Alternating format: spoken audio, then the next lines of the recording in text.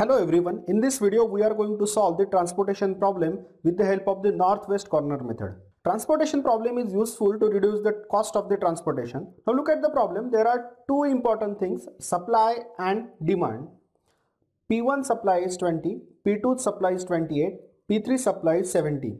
Now if you calculate the total supply, total supply is equal to 65. Whereas W1 demand is 21, W2's demand is 25, W3's demand is 19. If you calculate the total demand, it is equal to 65. Supply is equal to 65 and demand is equal to 65. Therefore, we can say that supply is equal to demand and this is the balanced transportation problem. This 7, 6, 9, 5, 7, 3, 4, 5 and 8 these remaining atom are transportation cost per unit 7 is the transportation cost per unit from P1 to W1. 6 is the transportation cost per unit from P1 to W2 and 9 is the transportation cost per unit from P1 to W3. Now we will solve this transportation problem with the help of the northwest corner method. As you are aware about the direction, now first of all we will find the northwest corner of this table. The northwest corner of this table is this cell. Now look at this cell. Supply is 20 and demand is 21. Now here we want to allocate some unit to this cell. Now the question is how to allocate the units. For this cell supply is 20 and demand is 21. Though the demand is more than supply but here only we can allocate the 20 unit. Here for the examination point of view I would like to give you a one simple technique.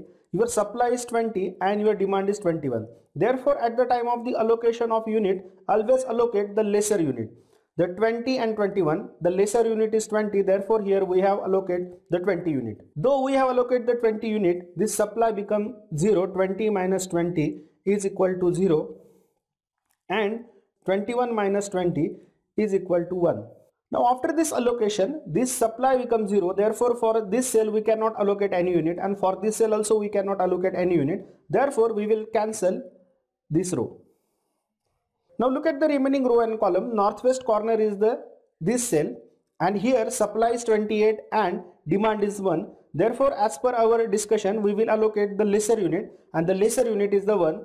Therefore here our allocation is 1 unit. After this allocation this demand becomes 0. 1 minus 1 is equal to 0 and supply become 28 minus 1 is equal to 27. Now look at this column W1 column. Here demand is equal to 0. Therefore we cannot allocate any unit to this cell therefore we will mark therefore we will cancel this column. Now look at the remaining cell. Northwest corner is this cell.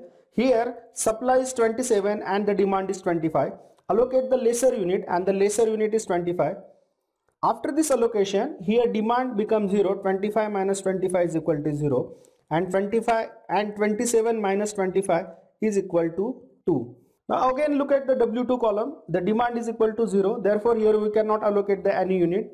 Again cancel this column.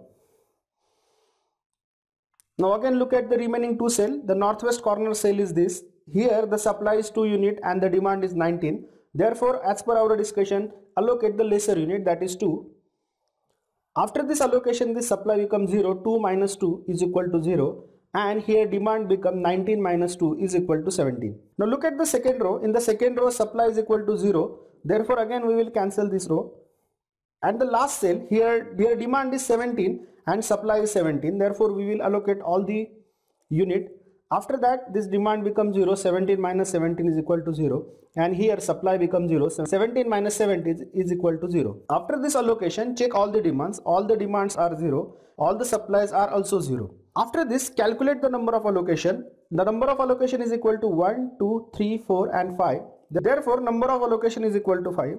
Now here we want to check whether number of allocations are equal to m plus n minus 1. Here m is equal to number of row 3, n is equal to number of column 3, minus 1 is equal to 5. Therefore here number of rows are equal to number of column. Therefore here we can say that the solution is the feasible. Now we will go for the final answer, final total transportation cost.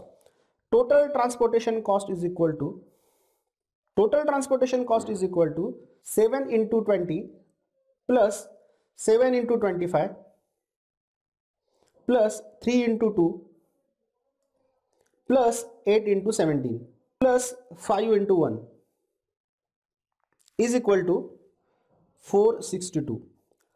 Therefore, total transportation cost is equal to 462.